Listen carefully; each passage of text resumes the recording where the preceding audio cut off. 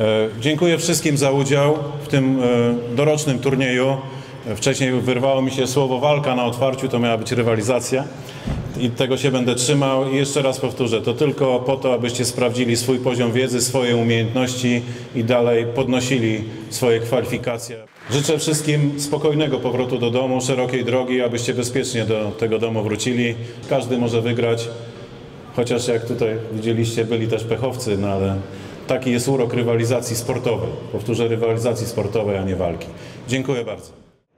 Panie i Panowie, zwycięzcą 27. edycji ogólnopolskiego konkursu Policjant Roku Ruchu Drogowego został młodszy aspirant Paweł Rut, reprezentujący Komendę Wojewódzką Policji w Szczecinie. I gorące, gorące brawa, szanowni państwo.